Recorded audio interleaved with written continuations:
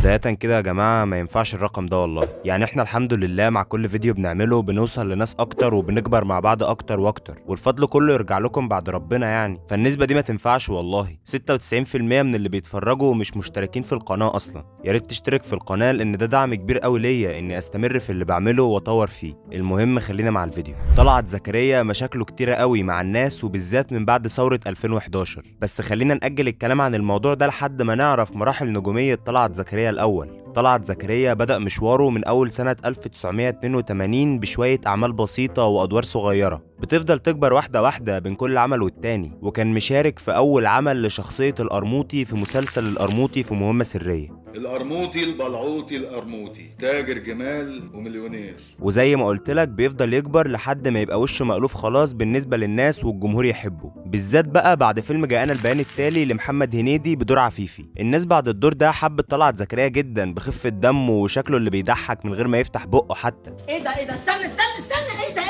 وبيتلمع زيادة لما ياخد دور بمساحة أكبر في فيلم حرامية في كي جي 2 مع كريم عبد العزيز. وحظه بالذات إنه ظهر على طول في بداية فيلم لمخرجة زي ساندرا نشأت اللي خدت مشهده ده كله one shot وهو بيحكي وبيعرفنا شخصيته هو وحسن. لو مش فاهم يعني إيه one shot فده معناه إنه المشهد كله على بعضه اتصور مرة واحدة من غير cut الكاميرا بتفضل دايرة مع اللي بيتكلم لحد ما يخلص جملته أو مشهده من غير ما الكاميرات تعطل أو تغير كادرات. وده اللي ساندرا نشأت شاطرة فيه بصراحة وبتحب تعمله في كذا فيلم هي اشتغلت فيه. بالمناسبة في فيلم قصير لساندرا نشأت اسمه بتحلم بإيه. هسيب لك ال link بتاعه في ال description أتمنى تتفرج عليه وهتفهم ليه ساندرا نشأت من أفضل المخرجين المصريين. المهم نرجع لمشهد طلعت زكريا في حرامية في كي جي 2 المشهد كله على بعضه مدته دقيقة و10 ثواني حاجة زي كده. بس شرح لك كل حاجة. عرفك إن حسن ده حرامي وبيسرق خزن وورث الموضوع ده من أبوه اللي كان حرامي خزن برضه وإنه شاطر في اللي بيعمله. حتى أسمع كده. يا معلم وهدان العملية دي ملهاش إلا حسن 50 50 طبيب جراح الخزن الأول في بر مصر كله. شاب مصراوي مجدع 7000 سنة شقاوة وموتان قلب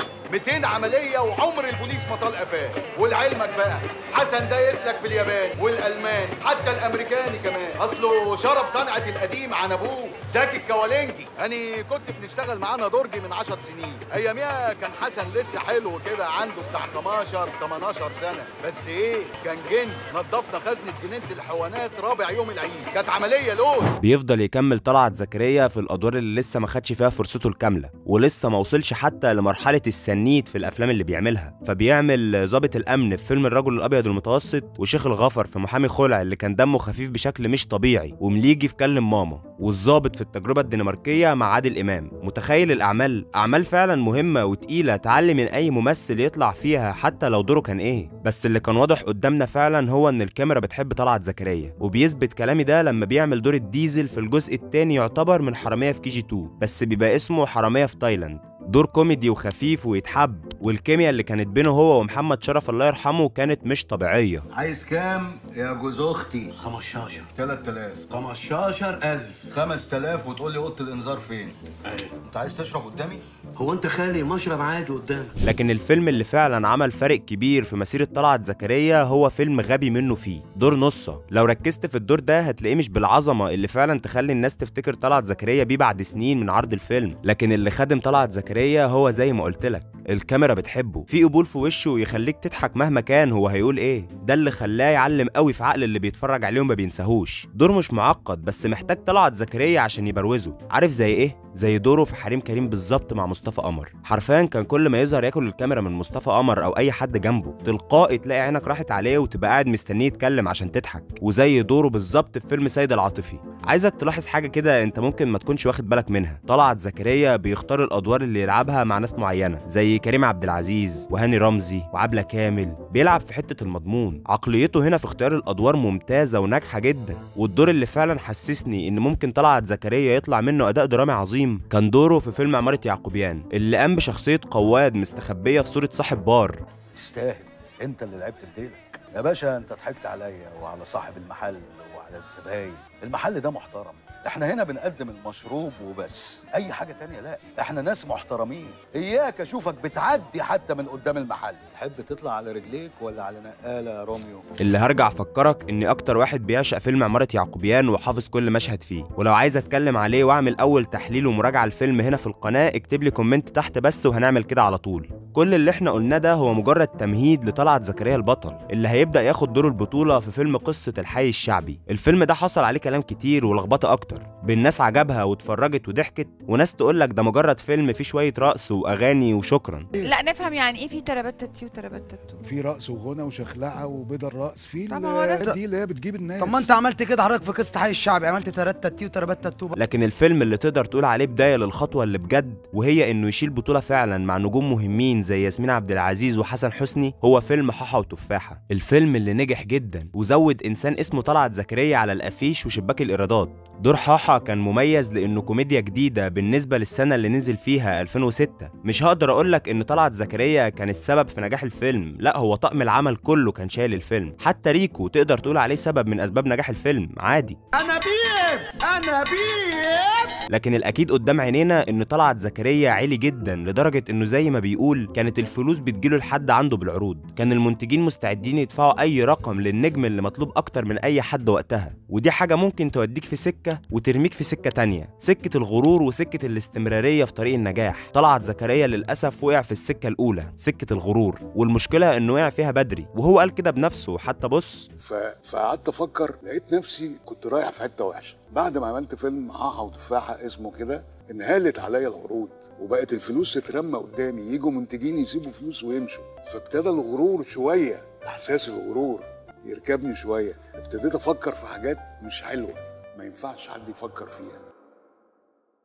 المهم بيكمل طلعت زكريا وبيوصل للفيلم اللي تقدر تقول عليه بداية النهاية فيلم طباخ الريس. وهنا قبل الفيلم ده ما يتعرض كان الكلام عليه كتير قوي بشكل مش طبيعي لأن تخيل إن الرئيس مبارك بنفسه هيحضر العرض الخاص للفيلم. متخيل اللي بقوله لك؟ يعني تخيل إن النهارده ينزل خبر إن الرئيس عبد الفتاح السيسي هيحضر العرض الخاص لفيلم الإسكندراني بتاع أحمد العوضي. مصر كلها تتفرج على الفيلم من كتر الكلام اللي هيتقال عليه والأخبار اللي مش هتتبطل تتكتب ليل ونهار. وهيفضل فيلم الإسكندراني يتعرض ويتعاد على كل القنوات لمدة 10 سنين مثلا ولا حاجة. بعد الفيلم ده كان طلعت زكريا سهمه بيعلى وفي أوسع طريق للنجاح لكن بيحصل له مشاكل صحية وبيجيله التهاب في شريان من شرايين المخ وبسببه بيدخل في غيبوبة لمدة شهرين كاملين. بيقول فيهم طلعت زكريا إنه كان ميت ورجع للحياة بمعجزه كان أولاده ومراته مستنيين في أي لحظة الدكتور يطلع يقول لهم البقيه في حياتكم. والجرايد والقنوات كانت ما بتصدق تشوف خبر عن مرض فنان فيموتوه على طول. يعني أعتقد أنا قريت وفاة عادل إمام دي 8 أو 9 مرات لحد دلوقتي وحتى طلعت زكريا في مرضه وما تخلاش عن خفة دمه اللي عارفينه بيها. ده بيجي يسيب كل عضلات الجسم بياكلها. ما بيبقاش فيه ولا عضلة شغالة. حتى عضلة القفص الصدري بيصيب واحد في المليون. جالي ففرحت إن أنا يعني واحد متمي- في المليون. متميز. متميز.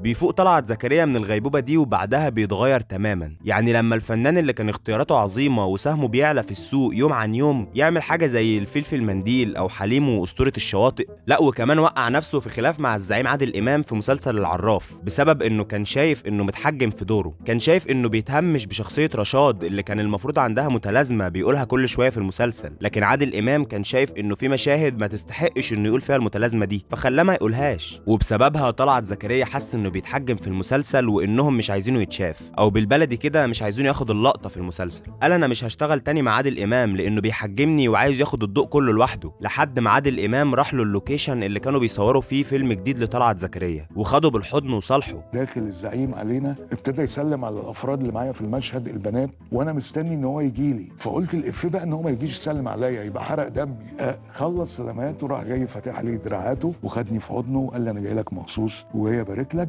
فقلت له أنا آسف أوعى تزعل مني. قال لي أنا كبير يا طلع ما بزعلش. لو مش عارف بقى ليه عادل إمام يستحق لقب الزعيم فدي واحدة من أسباب إنه الزعيم. ما اعتبرش نفسه إنه اعلى من الناس دي كلها وإزاي يعني أروح وأفهم هو متضايق مني ليه واصالحه واخده بالحضن في وسط location كامل؟ لا هو الكبير هو الأب لكل دول. عادل إمام ساعد ناس كتير قوي في حياتهم وهم ما كانوش يعرفوا إنه ساعدهم أصلا. أو عرفوا متأخر إن اللي كان سبب بعد ربنا في اللي هم فيه هو عادل إمام. بس ده مش موضوعنا النهارده خلينا في اللي بنتكلم فيه. المهم طلعت زكريا بيكمل وبيدخل نفسه في المشاكل اللي قلنا عليها في الأول خالص اللي عطلته ياما عن مسيرته الفنية مشاكل الثورة والتدخل في السياسة الزيادة عن اللزوم والدفاع المطلق عن حسني مبارك والهجوم في الإعلام على الثوار في ثورة 25 يناير واتهامهم إنهم في الميدان مش عشان تحرير البلد أو تغيير النظام لأ ده عشان المخدرات والتحرش. ما يدور في ميدان التحرير دلوقتي طبل وزمر ورقص و...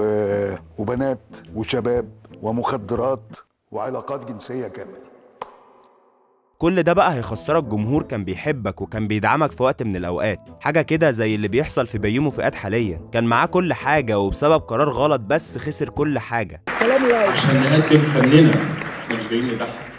إحنا جايين نقدم فننا.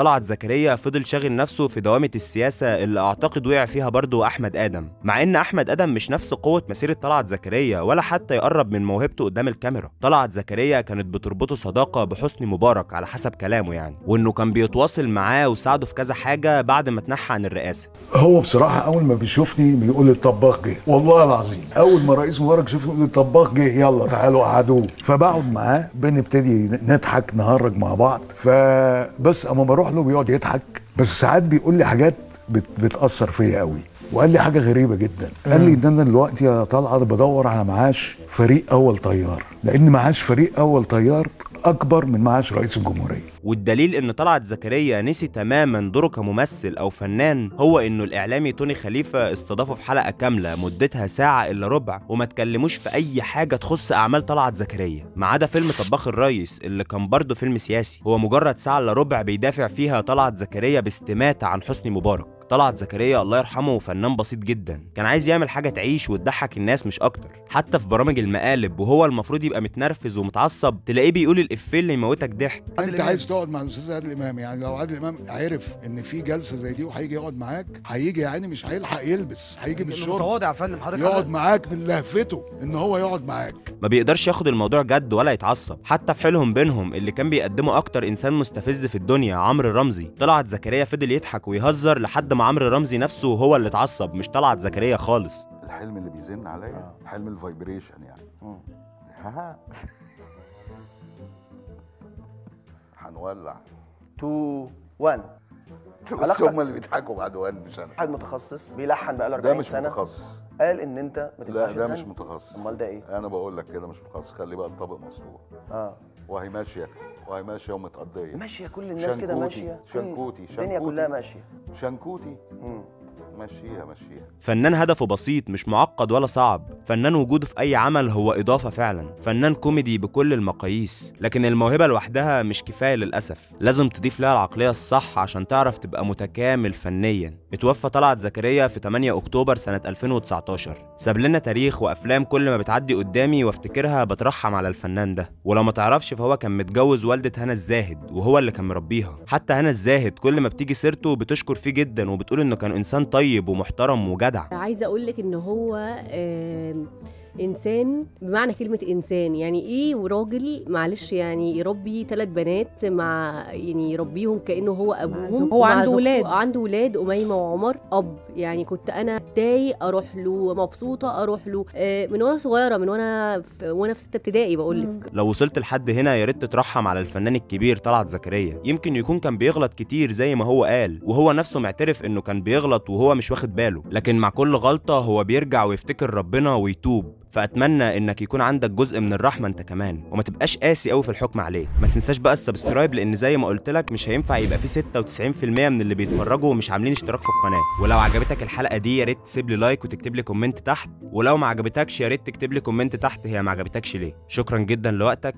سلام. الحقونا إحنا الأول كنا بنقول يا تلحقونا يا ما تلحقوناش. النهارده بنقول الحقونا بجد.